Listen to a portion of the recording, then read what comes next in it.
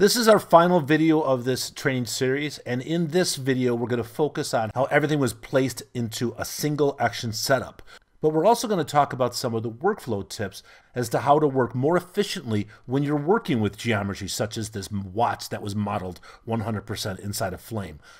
So first of all, we see there is our batch schematic with an action node and several different layers with different inputs that were used to create and model and create the effect of the end result.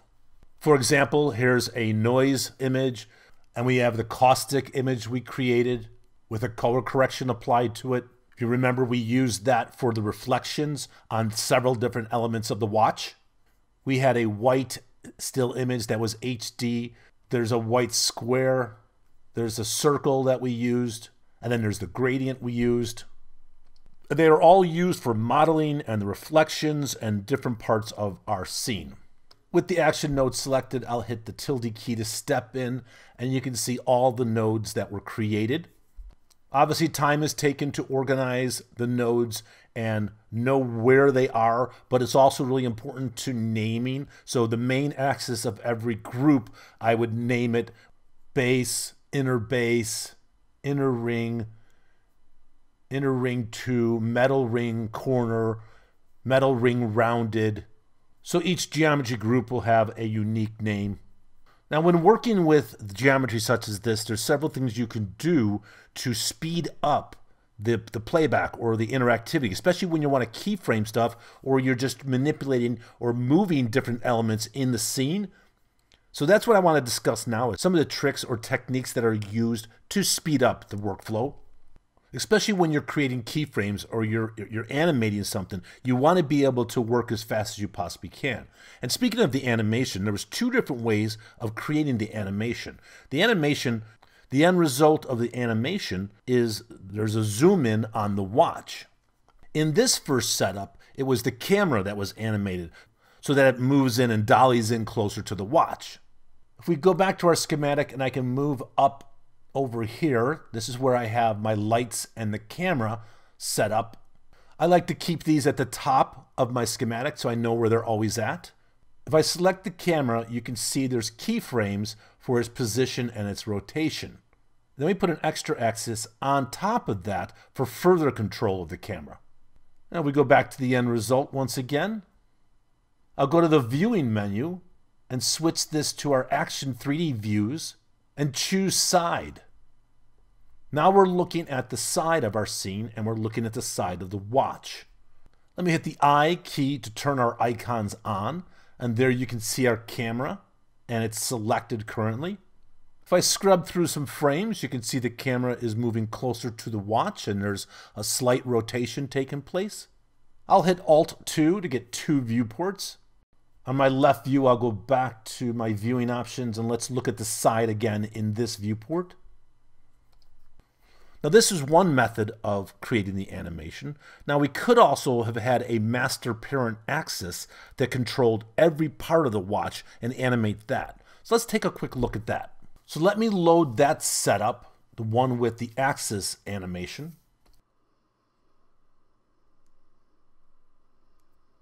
Now when we go into the schematic for this, you're going to see where we have one axis that is controlling everything, every part of the watch. First of all, I'll go to the camera and I'm going to delete the axis that is above it. We don't want that anymore because we're not animating the camera.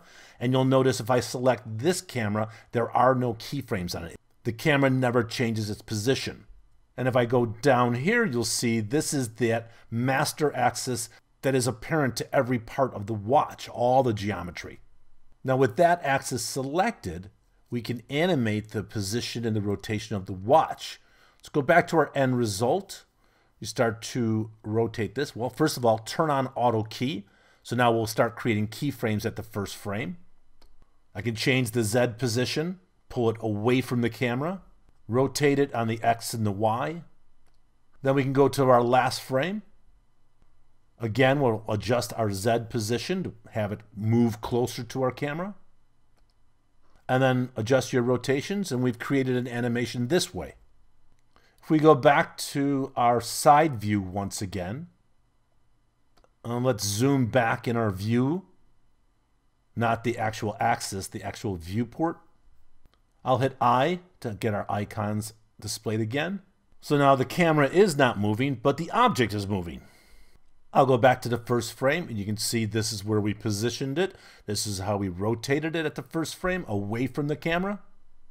It's a static camera and as we start to scrub forward we can see our geometry, our watch is what we've keyframed and that is moving toward the camera.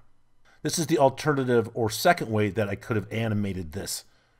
I'm going to go back and load the first setup, mainly because with this axis connected to everything, it's a little crowded and it's hard to kind of explain what some of these groups of nodes are.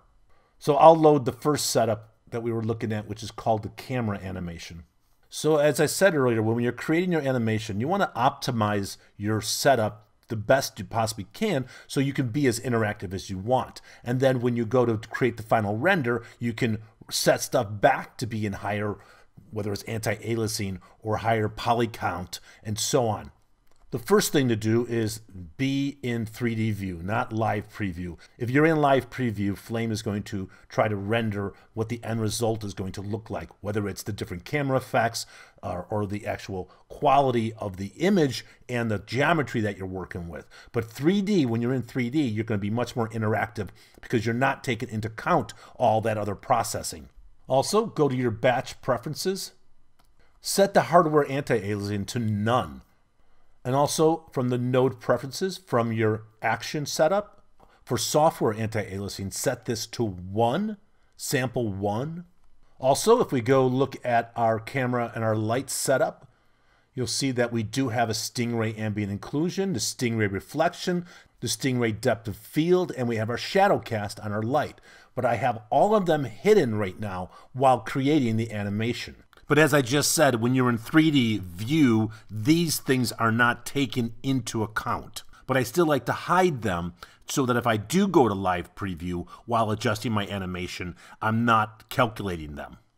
Also, depending upon how heavy your scene is, you might want to set the polygon count for your geometry to be a lower number. For example, let's zoom in on one of the buttons over here on the left side of the watch. Right now it is in a draft state because I've decreased the polygon count. Let's select it. First of all, I'll hit the I key to bring up the uh, icons, and then I can select the actual G mask that was used to create this shape. Now I can go back to my schematic view, and I can zoom back and pan over, and I can easily find the geometry setup for that button. It's highlighted in yellow. I'll go over here, I'll select the 3D shape that is part of this and go back to our end result view. And then go to the profile settings for this shape and you'll see the max samples and it's set to 10 right now. The default is 200. And if I change this to 200 while watching the actual geometry, you'll see how it's going to become a much higher res model when I enter 200. It's much smoother because there's obviously more polygons to allow it to create the shape. But like I said, when I'm just creating keyframes or making an animation or creating the light setups, I don't need to have the highest polygon possible. I generally will set this max samples to a smaller value, for example, like 20, or even as low as 10. Switch over to our geometry and instead of looking at a solid object, we can enable wireframe, which this also will help you really be more interactive and create the animation faster. So now you can see that we have a lot less polygons here, which means it's more interactive. But if we go back to our profile and we put our max sample back up to 200, now obviously this is going to be a little slower because there's more to compute while manipulating and animating. Also, another great tip is isolating and hiding things that you don't need that are not relevant to what you're working on at that moment. For example, let's say I needed to manipulate these buttons. I need to change their position.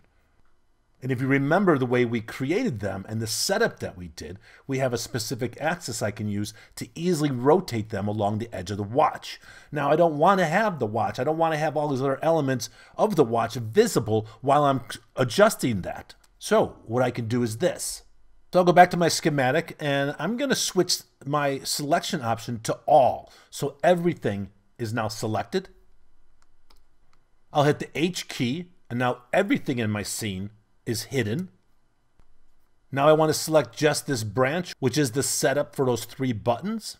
So I'll switch to branch for my selection option and then select the top axis for that. And now I'll hit H again to unhide the setup for these three buttons. Now if we go back to our end result, we see nothing because the lights are still hidden. But if I hit the I key, I can see the icons. They are there, it's just that the lights are hidden. Let's go back to our schematic once again, and we know our light setup is at the top. So I'm just going to navigate my schematic to where those lights are. Once again, there's my camera and my light groups. I'll switch my selection mode to selected and I will unhide these two lights. And then I'll hit F4 for my result and here we are back looking at our scene, but now we only see these three buttons. So now I can go back to my schematic and I can navigate to its group of nodes and I can make an adjustment to it. I can use the parent axis to adjust all three buttons at one time, or I can select the main axis for each individual button and make adjustments to that. So for example, I'll select this axis, which is controlling the middle button, and then I'll take the Z rotation and make an adjustment to move this button over here. Go back to my schematic and select this button, the axis that controls this other button. Back to the main view, back to our result view, and I can adjust its Z rotation to affect where it is. And I was able to do so very quickly because I wasn't having to compute anything else that was in the scene, only the part of the watch that I have to focus on. And then when you're done and you want to bring everything back or unhide everything, switch your select mode once again to all, and then I'll hit the H key. Now, because the fact that the buttons were not hidden and neither were the lights. They are now hidden because I just hit the H key. So we need to go back into the schematic. I'll switch my selection mode to branch, select the top axis for those three buttons and hit the H key to unhide those. Now I'll go to my lights and I'm going to select each one of them and unhide those. I actually just unhid the shadow cast. I'll hide the cast shadow again. And as I said earlier, spending the time to organize your nodes in your schematic view for action, and then also naming things properly to easily find them really does help a lot when you're working with a complicated scene such as this.